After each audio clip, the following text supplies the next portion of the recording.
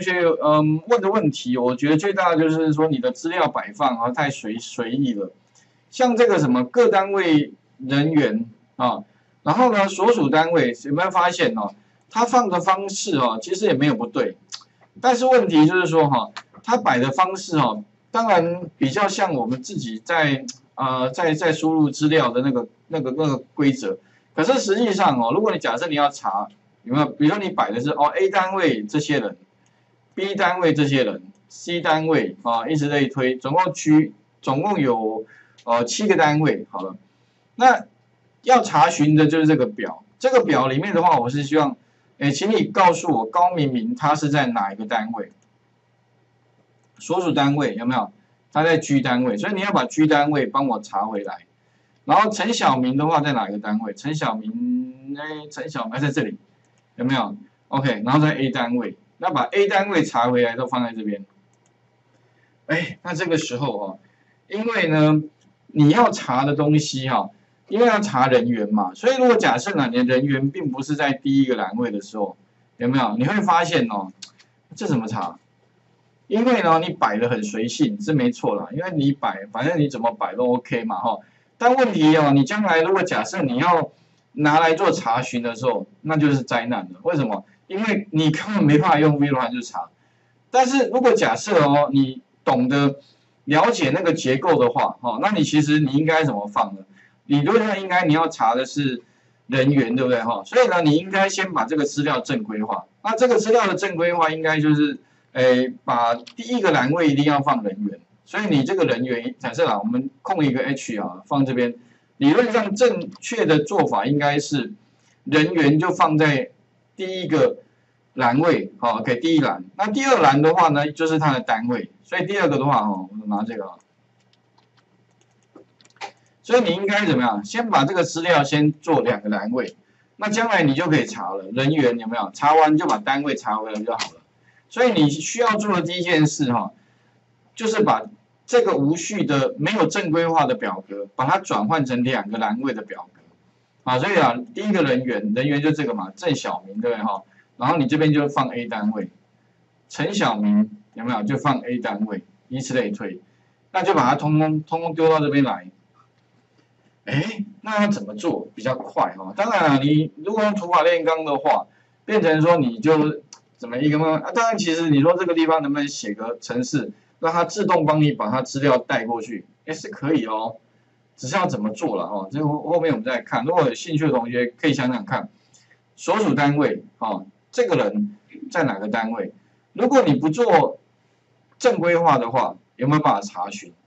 或者如果你假设要把它正规化，那又要怎么做？哦，这一题的话，我觉得是，嗯，主要就是说哈，那个，哎，你要怎么样？建立资料了哦，很重要。如果你资资料建立错误的话，那后面其实就是一个大麻烦哈，大灾难。好，那我们现在回到刚刚这一题好了。那首先的话呢，哈，我们第一个饭店管理这一个 Booking ID 总共有四个部分的资料。第一个部分就是先把它的什么呢？缩写先查出来，加一个减号。所以呢，第一个哦，我先用什么查呢？哎，插入函数嘛哈。那查资料，我先取消一下，先把它放大一下。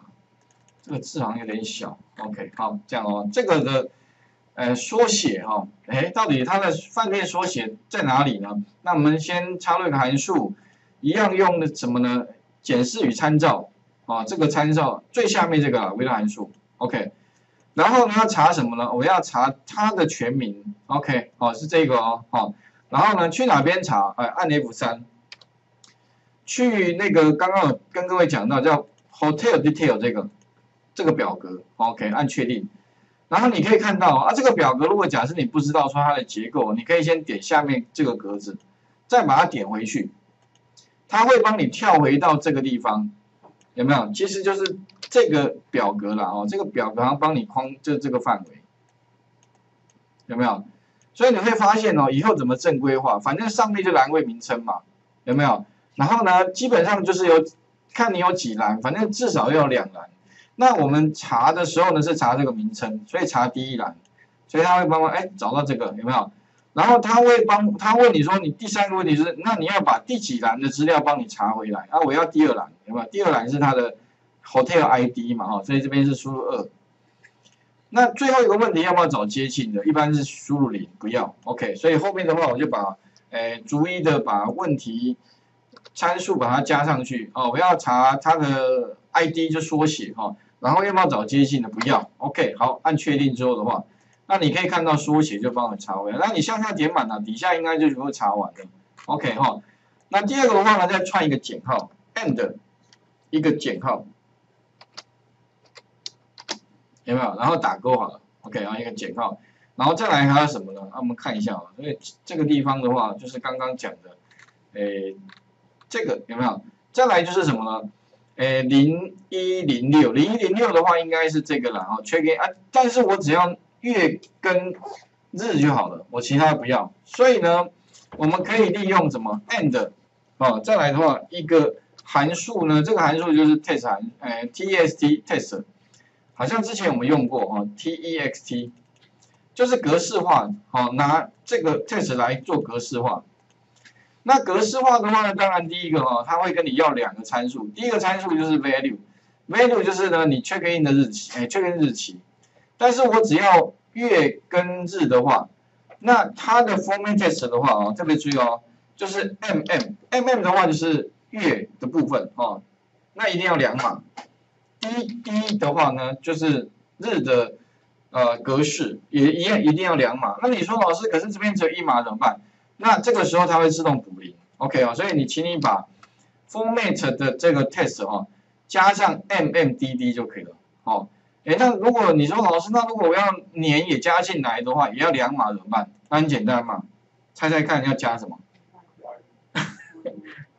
对吧？yy 对哈。那如果四码的话，就是。四个 Y 就好了嘛，OK 有没有？二零零九零呃零一零六嘛，OK 应该可以懂这个逻辑吧？好，OK 好，这样的话，按我们 MMDD 就 OK 按确定，好没有？那可是你说老师，那可是呃我怎么知道其他格式怎么变？很简单啊，按右键出生的格式，啊这边不是有那个什么日期？假如说你想要把它变成什么格式，有没有？你就找一个接近的。哎，举例好了，假设这个好了，你说老师我要变成像这样子，那你可以找一个接近，就按个制定就有了。制定这边不就会出现什么 D 斜线，有没有 M 斜线 D 有没有？那分号后面这个不要，啊，反正就是分号前面的这个就是它的公式了。也就你可以把这个拿到 Format 上面哈去拼凑，它就会得到你要的。不过看起来好像大小写没区分。啊，这边用小写啦，我刚刚大小好像也可以哈，所以它没有区分大小写啊。好，那再来的话呢，在后面加 end 一个减号，啊，所以第三个要做什么呢？第三个就是我要再给他这个什么呢？哎，几天哦，不是几晚哦，几天的话呢，那就是怎么样？把它在 and 一个减号，在 and 什么呢？哎，把它确认日期点一下。再减掉它的缺呃缺呃这个缺 in 嘛，再减掉缺号日期。哎，不知道是什么？Booking day 啊，反正一样啊，就是 check in check 那么跟哎啊后面减前面才对了，OK。然后记得再加一加一，因为你后面减前面的话，哎，等一下我这个啊我点错了哦，OK。